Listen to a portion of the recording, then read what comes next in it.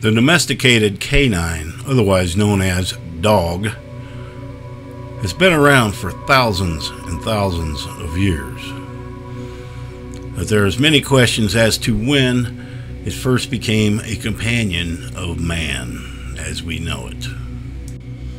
The earliest undisputed evidence of dogs being domesticated with human beings was discovered while quarrying in Oberkassel, Germany in 1914.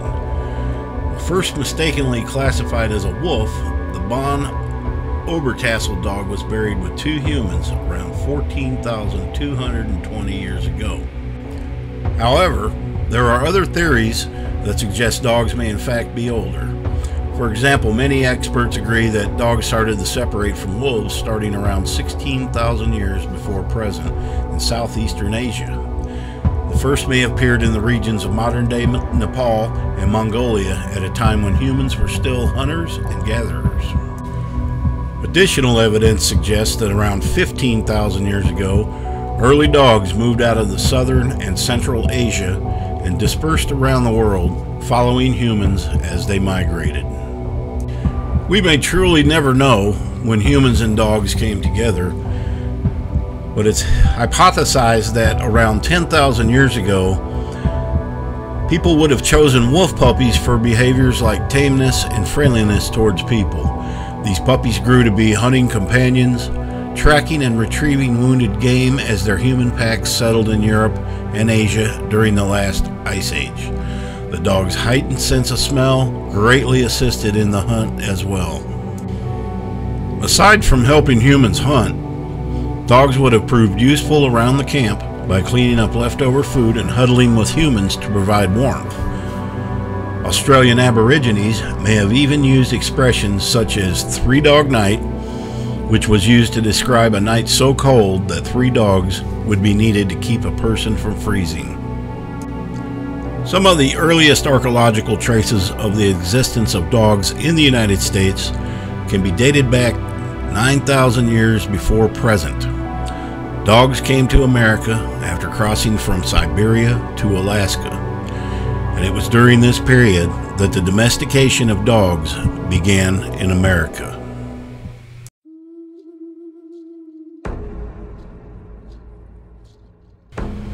To the early Native Americans, dogs were not just pets, but members of the tribe, and they were known and loved by the tribe people as one loves a coworker, a friend, or a family member. It was believed that dogs could see the dead and foresee the future. The Native Americans taught their dogs how to fish and hunt. The Pacific Northwest Indians used their dogs to hunt bear, elk, deer, mountain sheep, and waterfowl. Specially trained dogs would drive elk and deer into the snares. And the dog helped in the hunting of seals and polar bears very skilled hunters and very courageous and protective of their owners and their family.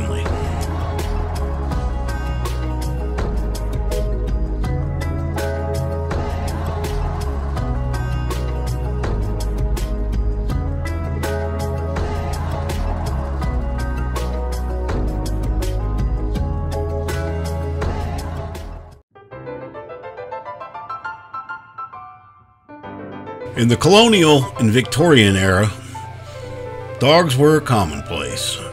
Breeds would include hounds, bulldogs, mastiffs, pointers, setters, spaniels, terriers, and many others. Smaller breeds were known as comfort dogs and were favored by the women and the elderly as companions, much like they are today.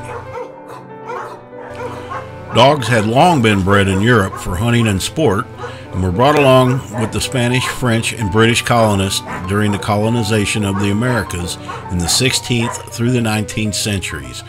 European dogs mixed with American dogs and were further domesticated and bred for specialized purposes. It was well known that George Washington was a dog lover, and he kept many dogs over the course of his life. As a child, he had a Newfoundland named Samson. As an adult, he owned and bred many types of dogs, including foxhounds, two of which were named Tiger and Fox. Still others were called Tipsy, Tippler, taster, and drunkard. The American Kennel Club notes that Washington helped develop the American Foxhound breed. Washington also had a Dalmatian known as Madame Moose. Martha Washington, her dog Madame Moose, was a coach dog, which also known as a carriage dog, is one who trots alongside the carriage to protect the people inside. She loved Madame Moose enough to request a male to breed with her so that she would have more coach puppies. John and Abigail Adams had mixed breed dogs. Like George Washington, they also had a sense of humor when naming their canine companions. One was named Juno, and the other one was named Satan. Thomas Jefferson became enamored with Briards when he was serving as minister of France. He brought home a female named Buzzy who had two puppies on the ship home. President Abraham Lincoln was known to have many dogs throughout his life. Two of the more famous dogs are called Fido and Jip, but there were other dogs that bonded in and out of Abraham Lincoln's life.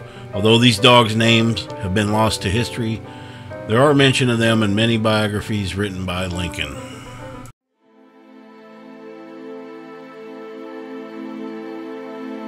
The overpopulation of domestic dogs first became apparent in the early 1800s. By the 1830s, New York City had put a bounty for stray dogs, and it had risen to a dollar, and the dog register struggled to deal with the number of dog carcasses he received as cash strapped New Yorkers killed dogs to receive the reward. In 1836, 8,000 dogs were slaughtered. This violence on the streets sparked concerns about the fate of the dogs and the morality of their killers. Members of the middle and upper class were worried that dog killers, many of whom were children, would go to become thieves and worse. Despite the slaughter, New York's stray dog population continued to grow. The 19th century saw a significant transformation of society's attitude towards animals, which reflected the legal system. The legal system began the century viewing animals as items of personal property, not much different than a shovel or a plow. During the first half of the century, lawmakers began to recognize that the animal's potential for pain and suffering was real and deserving of protection against its unnecessary infliction.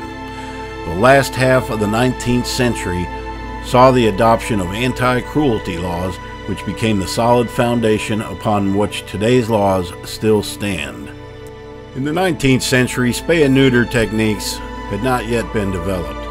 And one can only imagine what people did to control the population of the animals.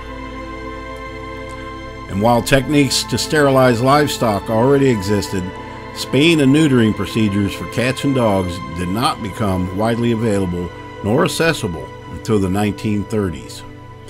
In 1969, the first low cost spay neuter clinic opened in Los Angeles, and it had a four month waiting list of people wanting to get their pets sterilized. Every single day in the United States, an estimated 70,000 puppies and kittens are born in the USA alone. The number is estimated at 27 million per year Tragically, millions of these are put down or euthanized due to overpopulation. On average, approximately 6.3 million companion animals enter the shelters every year.